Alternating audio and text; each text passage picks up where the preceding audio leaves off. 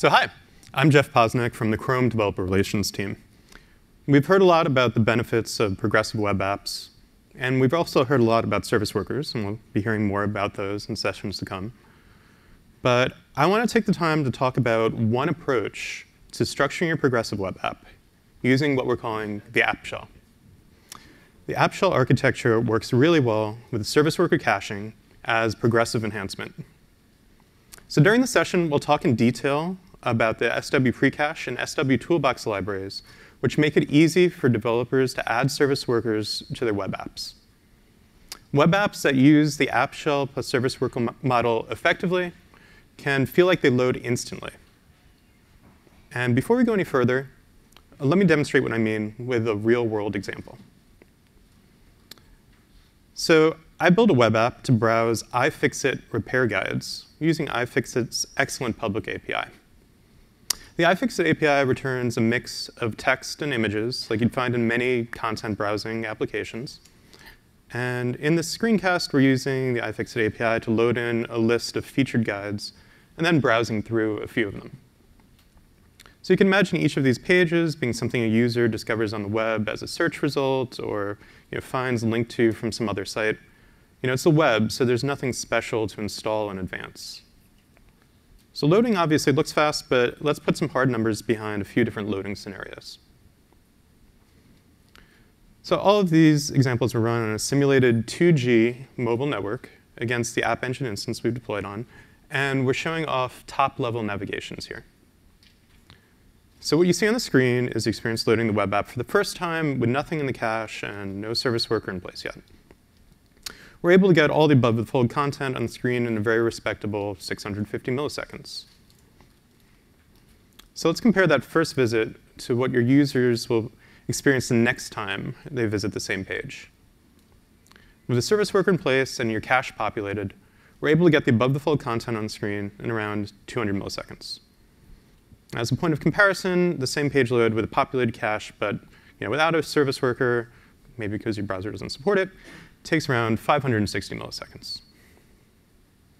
And let's take a look at the learning experience for a page that we haven't previously visited. So because the web app service worker is already installed and the app shell is cached, new pages load instantly as well. So we could get above the fold content on the screen in 225 milliseconds. With the same cache con content but without a service worker, we're looking about 650 milliseconds to get the content on the screen. You can see that even on a slower mobile network, great load times are possible across the board.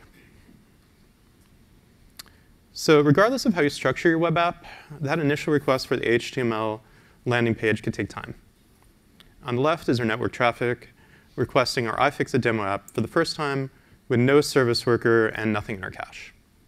It takes 423 milliseconds before we get our full response back, and this includes the time it takes the server to make the iFixit API request for us. So on the right, we're serving the same page directly from our cache. It only takes five milliseconds once the service worker gets involved. So with the service worker and with the right caching strategy, the network no longer stands in the way of getting your app on your users' screens. So we strongly feel that adopting the model we'll be talking about today is the surest way to, to build web apps that consistently load in under a second, which is a target we recommend in the Rail performance model. You'll hear more about Rail during tomorrow's sessions, but keep that in mind. And as my colleague Tal pointed out, loading instantly can make a big difference in your web app success. Studies have shown that an additional one second delay in page load times can lead to 11% overall fewer page views as well as a 16% decrease in customer satisfaction. So instant loading isn't just nice to have. There's a direct impact on your bottom line. So hopefully everyone out there is ready to go and adopt this model in your own web apps. But before you can do that, let's run through an explanation of the key concepts you'll need to understand. So first, what's an app shell? So your shell is the HTML, JavaScript, CSS, and any other static resources that provide the structure for your page, minus the actual content specific to the page. So the shell should be cached, obviously, and should load quickly. Think of your shell as being kind of similar to the native code that would get uploaded to an app store if you were writing a native application. But you don't have to sacrifice the linkability and discoverability of the web. And unlike with native apps, you can deploy updates to your app shell in a second. The concept of an app shell is going to come up again and again throughout this presentation. Anything you see, anytime you see something colored green, know that we're talking about the app shell. So once the shell content loads, we fetch dynamic content, in our case, from the iFixit API to populate the view. The app shell plus our dynamic content equals the complete rendered page. Anytime you see something colored blue, know that we're talking about the dynamic content. So now that we've talked about the app shell, we can turn to the next question. What's a service worker? Uh, technically speaking, a service worker, you know, it's a network proxy written in JavaScript. It intercepts your HTTP requests made from your web pages. But an analogy that I like to use is to think of a service worker as being an air traffic controller. So let's see how this analogy plays out. You can think of your web app's HTTP requests as planes taking off. Uh, with the service worker, you now have an air traffic controller making sure that your requests load quickly and efficiently. So the request planes might land using the network runway, or they might land using the cache runway, in which case the request can bypass the network completely. So it's up to the service worker to decide how to handle each request. And here's a quick visual walkthrough of the life of a service worker. We start out with a page that isn't yet controlled by a service worker, but contains code to kick off the registration. So this, that creates a new service worker instance and fires the install event that the service worker will respond to. And now is our chance to add our app shell's content to the cache. Let's dig in deeper. So while every setup may be different, in our iFixit um, sample, we're serving the HTML for our app shell from the slash shell URL. Keep that in mind throughout this presentation when you'll see slash shell pop up again.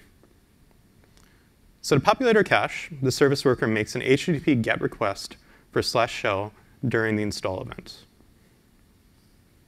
And let's walk through the contents of our shell. So we're including some site-wide inline styles that'll be shared by all of our pages. And next we have a template insertion point uh, within our body element. So this doesn't contain any real content, but it serves kind of as a placeholder for the client-side templating that will take place when our content's loaded. And finally, in this example, we have a reference to an external file, app.js, that contains all the site-wide JavaScript that our page needs. So back to the life of a service worker. The next event you'll get a chance to handle is Activate. So here you normally perform cache cleanup of any out-of-date resources you no longer need in your shell. And once those handlers complete, your service worker enters into an idle state. So it's running, but it's not doing anything until there's a network request that fires off a new event. And in response to network request, a fetch event handler will get a chance to respond to intercept the request and to respond as you see fit. So that happens after a period of idleness. Your service worker script is stopped automatically. So when the next network request is made, when your page is loaded again, it's started back up and can immediately respond to fetch events. So the air traffic controller analogy breaks down a bit here because you probably wouldn't want to tear down your air traffic control tower every time you know, a plane lands and wait for another one, but you know, bear with me here. OK, so let's take a look at how our fetch handler serves up our app shell. Our service worker can intercept any requests for any URL under its scope, including pages that haven't been previously visited. So in our case, we want to respond to any navigation requests with the slash shell response that we've previously cached. And this will bypass the network completely. So this is a model that you might already be familiar with. Um, it's what happens with server-side rendering when there's a URL pattern that's routed to a matching handler, which is then responsible for returning the full page to the browser. And this is the service worker equivalent of that routing. And it's code that runs client-side in the app shell that ends up populating the content, in uh, this scenario. And if you're using a universal JavaScript framework, uh, it might end up being the same templating code that runs on both the server and the client, but that's not a requirement for using this model. So at this point, I hope you see the advantages of structuring your web app using the app shell plus service worker model. And while you could write your own service worker code, um, we have two libraries that will take care of many of the details for you while following the best practices and avoiding common gotchas. So going back to our analogy for a second, you know, you may be an awesome web developer, but you might not feel comfortable writing the code responsible for landing an airplane. And that's fine. You know, these libraries will handle that code for you. So the first library that we're going to talk about is SW Precache. So it takes care of caching and maintaining all the resources in your app shell. The second library we'll talk about is SW Toolbox. It provides a canonical implementation of all the runtime caching strategies that you'd need for your dynamic content. So we built these libraries to go together hand in hand, and using them together gives you a service worker that can load your app shell instantly while giving you fine-grained control over how your dynamic content is cached. So both of these libraries are battle tested and ready for production. They powered the service worker for this year's Google I.O. web app, so chances are you've already visited a page that uses them. Uh, I was a member of the team that built the I.O. web app, and we specifically designed these libraries to handle the real-world needs that came up while building the site. And I wrote up a case study about our experiences, which you could read at the URL on the slide. Uh, and we're also really excited to announce that Flipkart is using the SW Toolbox library directly as part of their new progressive web app. You'll hear more about that tomorrow. All right, so let's dive into the first library, SW Precache. So most web apps already have some sort of build process in place. And SW Precache drops right into your existing build process and uses wildcards to identify all the resources that make up your app shell. And we're using Gulp in the iFixit demo app, but SW Precache works equally well with Grunt, and we have a command line version as well. All right, so let's take a look at what happens when your build process includes SW Precache. So here we have a set of local files in our build directory that make up our app shell. We perform a gulp build, uh, which includes a step that runs SW precache for us. SW precache is configured with some wildcards to match all of those local files. And what it does is calculate a hash of um, each of the files that it finds that matches the pattern and generates a service worker code for you that contains a mapping of the URL and the current hash. So this service worker uh, JS file that it generates contains all the code that you need to maintain the cache of those files. You don't have to write a thing. You can just use it as is. And the initial visit to a web app that uses a service worker triggers a pre-caching of all the URLs that were identified. And you can think of this as kind of being equivalent to like a native app store install process. Okay, so your app shell changes over time, and SW Precache will make sure that your cache changes along with it. So let's assume you make some updates to two files, and you're ready to push those changes out to your web server. When you run gulp as part of your deployment, it'll regenerate the service worker JS file. Since two of the files now have new contents, the associated hash will have changed as well. And there's logic in the generated service worker file that will detect those changes for you and automatically update the cache entries, just for the files that have changed. When users return to your app, only new or modified resources are downloaded. You can kind of think of this as a native app store's incremental update. Okay, so those who prefer a command line build process to gulp or grunt can install the SW precache module globally from npm and then run it directly. So remember to rerun the command prior to deploying an update to your site to ensure that the generated service worker picks up on all of the local changes. All right, let's get our hands dirty a bit and take a look at how I'm using SW precache in the iFixit web app demo that I showed earlier. So this snippet is part of the uh, gulp build strip for the project, which gets run through Babel, so I can use all sorts of ES 2015 goodness.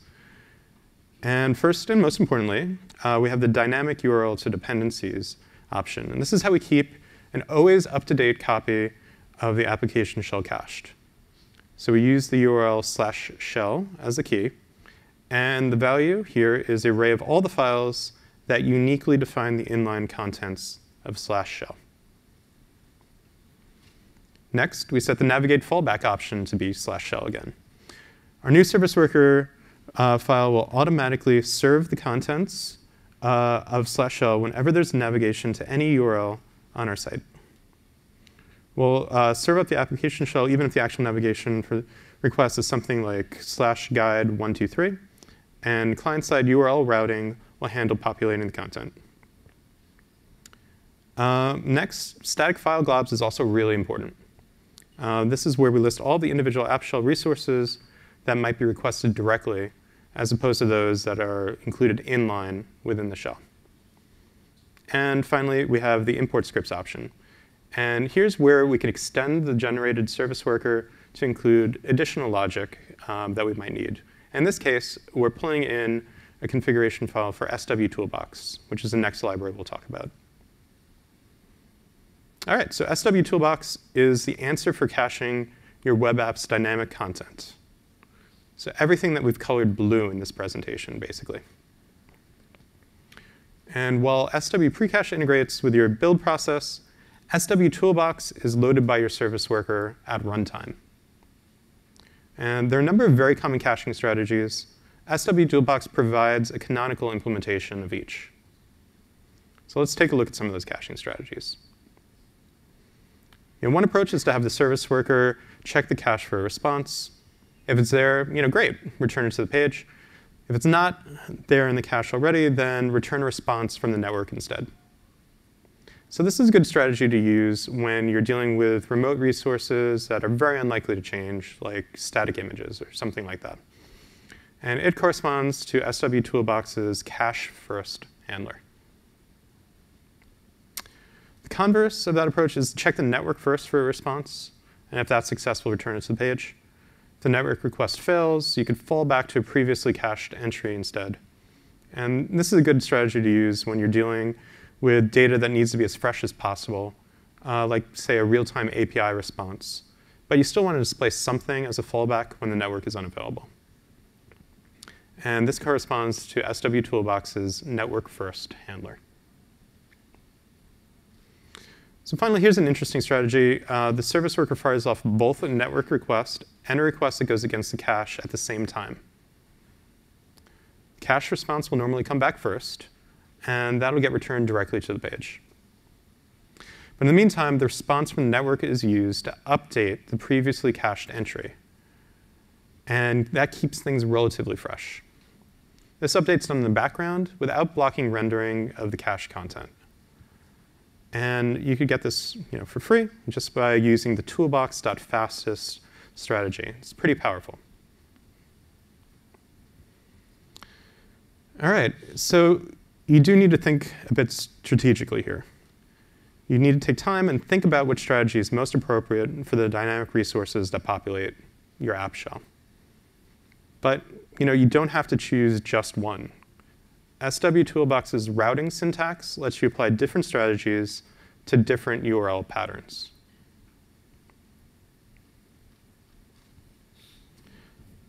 But you might be saying you could implement those caching strategies yourself.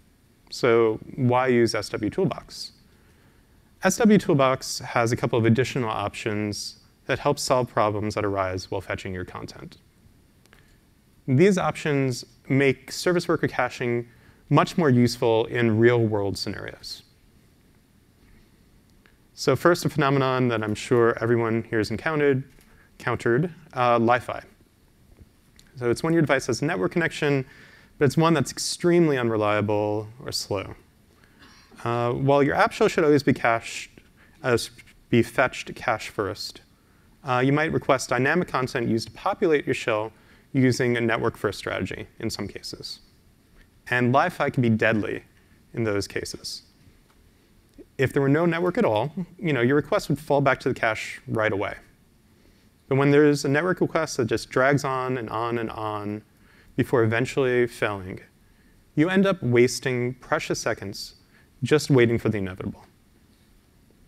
So using SW Toolbox, you can set an explicit network timeout. And here, we're setting it to three seconds when fetch, fetching an image network first. And after those three seconds have passed, if we don't have a response from the network, it'll automatically fall back to the cache content for us.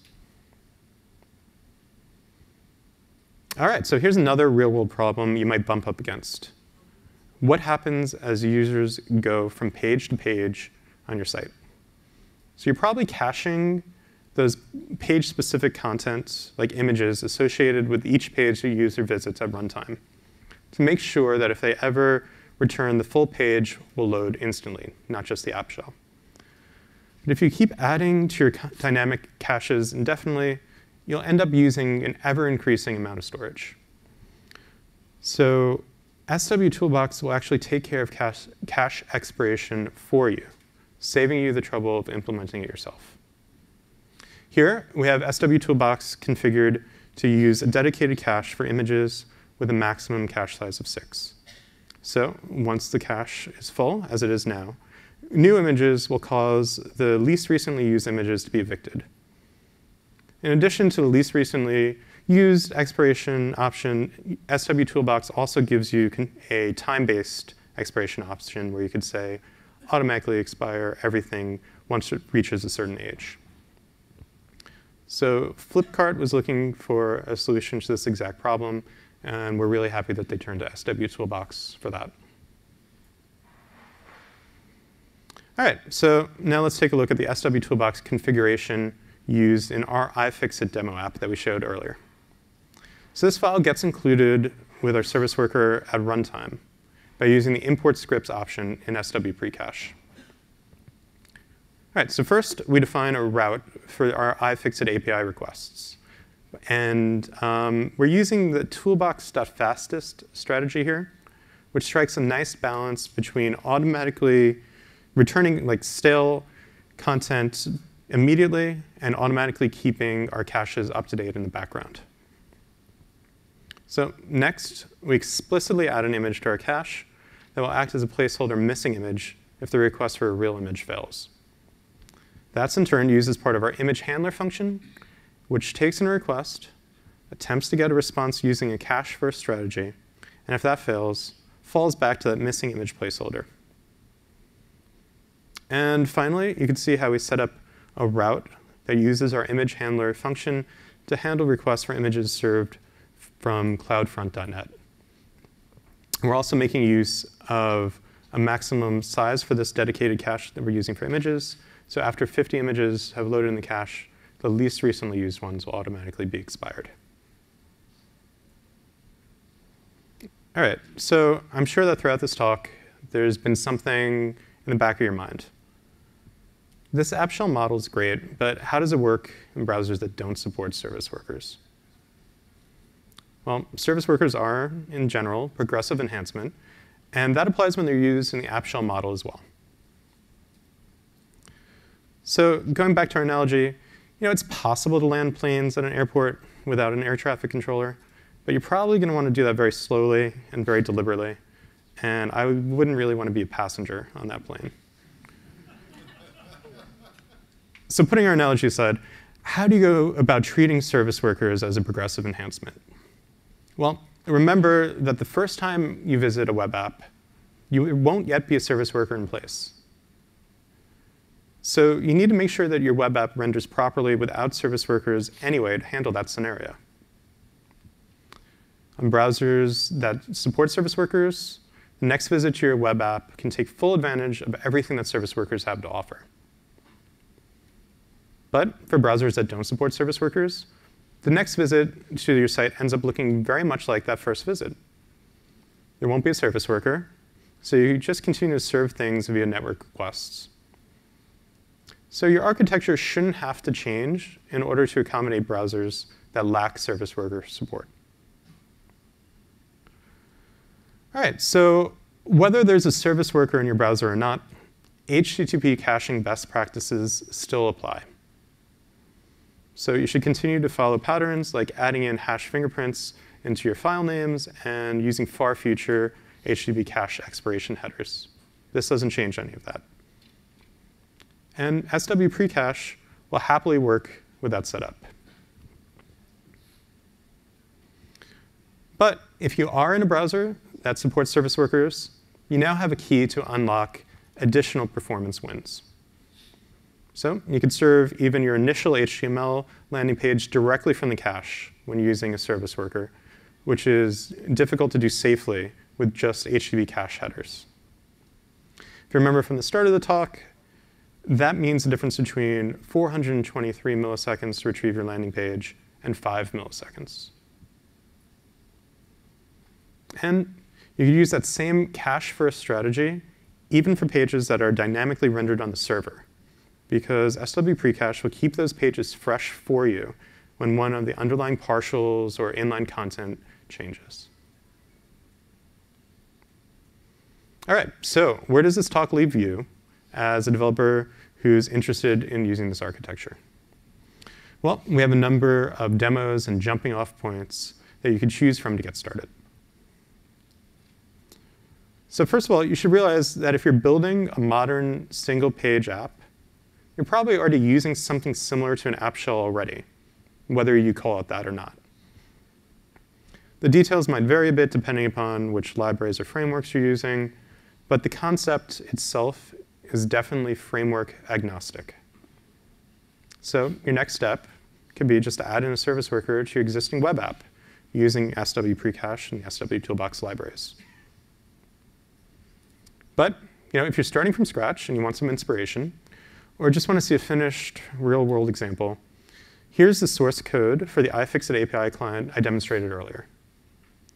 So it uses universal JavaScript for both server and client-side rendering, and can be adapted to go against a different API or a source of dynamic content if you want.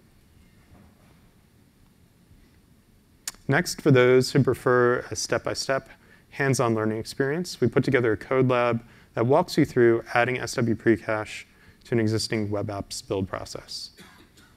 Those of you who are attending in person, you could do it in the code lab section that's outside. I also want to mention a Polymer-based demo that my colleague Rob Dodson put together, which makes use of an app shell plus service worker model in a blog web app, uh, which I think is called Super Cool Blog. Um, Rob will be talking more about that project, including the correct pronunciation, uh, a little bit later today in his session. Uh, next, the most recent release of the Web Starter Kit project includes SW Precache and SW Toolbox. And projects that use Web Starter Kit as a starting point will take advantage of them by default. So this is super powerful in terms of getting this technology out there to folks who are uh, getting started on web development.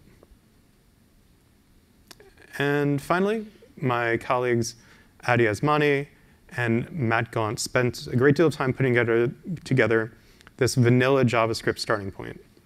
It gives you an app shell plus service worker setup with minimal opinions about frameworks or libraries. Uh, I highly recommend that folks check this project out, and it gives you a great place to start with all the best practices already baked in.